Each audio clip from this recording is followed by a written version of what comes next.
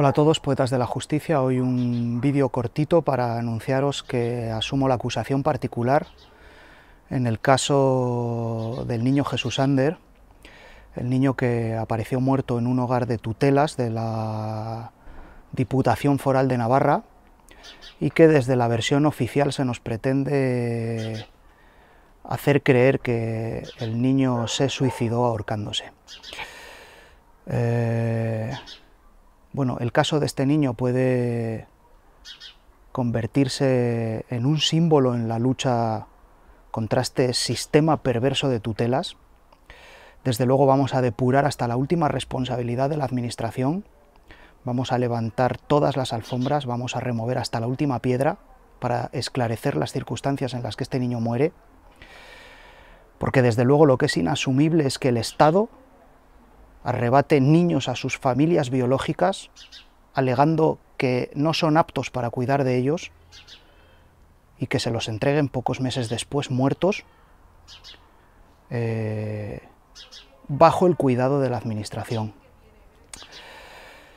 Eh, os animo a, a que sigáis prestando apoyo a la asociación. Son momentos especialmente difíciles para, para sostener todas las causas que, que llevamos adelante. Esta sin duda tiene pinta de que va a ser larga y, dura.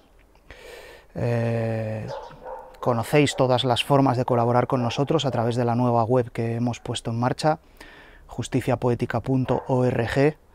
Eh, desde un simbólico euro al mes podéis contribuir a, a que podamos estar en todos estos procedimientos que, que sin duda no pueden caer en saco roto, no podemos dejar en el olvido.